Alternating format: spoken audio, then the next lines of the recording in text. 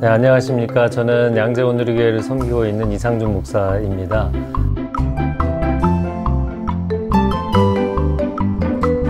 건강한 불안은 반드시 느끼라는 것입니다. 어, 불안을 느끼라고 이야기를 한다면 사람들이 어, 당혹스러워 할 것 같습니다. 아, 그리고 특별히 뭐 목회자가 두려워하지 말라, 놀라지 말라 이렇게 권면해야지 어, 불안을 느껴야 된다 이렇게 얘기를 한다면 여러분 마음 가운데 의문이 들지 모르겠습니다. 아, 그러나 이것은 심리 분석적으로 또 정식 분석학적으로도 합당한 이야기입니다. 제가 이 책의 23쪽에 이런 이야기들을 적었습니다.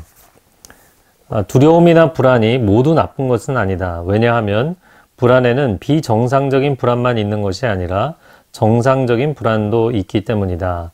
정상적인 불안이란 임박한 위험을 피하도록 만드는 신호 불안이다. 이 signal anxiety, 신호 불안이라는 표현을 썼습니다. 아, 뭐 예를 들자면 가령 이런 것이죠. 학생이 시험 전날입니다. 어느 정도 뭐 스트레스도 있고 긴장감이 있지 않겠어요? 그거는 정상적인 거라는 거예요. 어, 그런 어떤 긴장감이 있고 불안감이 있어야만 공부를 하게 되기 때문이죠. 또 한 가지 예를 들어보면 건물에 어디서 뭐 연기가 난다든지 아니면 어디가 뭐 작은 곳이지만 불이 붙었다든지 그러면 화재 경보기가 울려야 되는 것이죠. 화재 경보기가 안 울리면 사람들이 그 위험을 감지하지 못합니다. 아, 위험합니다. 라는 신호를 보내주는 화재 경보기가 울리는 것은 반드시 필요한 것입니다. 어, 그런데 정반대로 제가 지금 방금 이야기한 것은 건강한 종류의 불안인데요. 근데 건강하지 않은 어, 패턴이 있을 수 있습니다. 이건 뭐냐면 과도한 불안도 문제지만 전혀 불안이 없는 경우들이에요. 그 시험이 당장 내일인데 나는 마음이 너무나 편안한 거예요. 아무런 걱정, 근심이 없습니다. 두렵지도 않습니다. 스트레스도 안 받아요. 그냥 밤새 노는 거예요. 아, 그거는 당연히 느껴야 되는 건강한 불안을 느끼지 않기 때문에 학생으로서 가야 되는 길을 가지 못하게 되는 것이죠. 아, 또 건물에 화재에 어떤 위험성이 있다면 경보기가 울려야 되잖아요.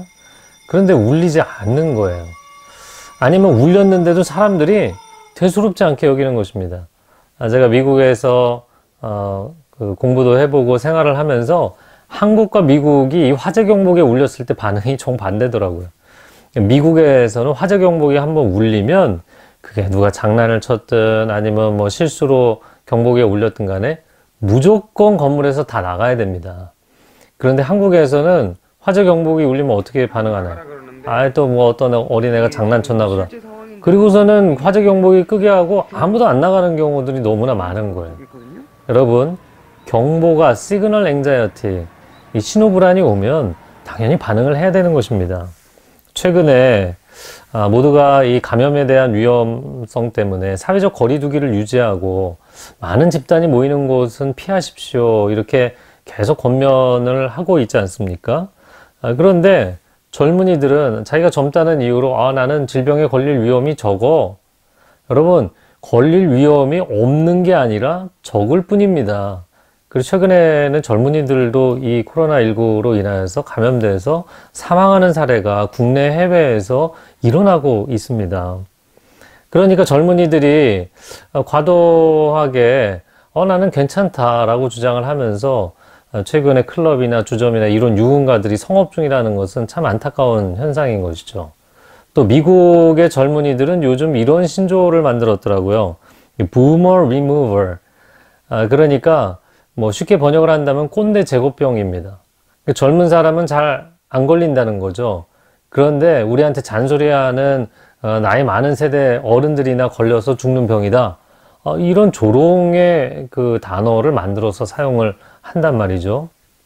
그러면 젊은 사람이 감염이 되면 내 가족, 내 부모는 감염이 안 될까요? 아, 이렇게 어떤 혐오적인 발언, 또 차별적인 발언, 조롱하는 언어, 이것은 우리는 안전지대에 있다. 이런 잘못된 생각 때문입니다. 아, 또한 가지를 생각해 본다면 교회도 건강한 불안을 느껴야 합니다. 우리는 6월절 기적을 체험할 것이다.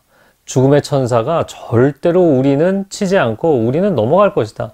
우리가 밀집한 지역에 모여서 다닥다닥 붙어 앉아서 예배를 드려도 어, 질병이 넘어갈 것이다. 이런 생각을 하는 경우들이 있다는 거예요. 남유다 멸망 직전에 예레미야라는 선지가 이러다 망합니다. 조심하십시오. 그러니까 수많은 선지자들이요. 너 그런 말도 안 되는 소리 하지 말라고 예레미야를 감옥에 가둬두기도 하고 구덩이에 집어던지고요. 놓고 어, 평안하다 평안하다 외쳤다고요. 여러분 건강한 불안은 느껴야 되는 것입니다. 하나님이 우리에게 위험하다 얘기하시면 그걸 느껴야 됩니다. 전문가들이 위험합니다. 조심하십시오 얘기하면 이 건강한 불안을 받아들일 필요가 있다는 것입니다.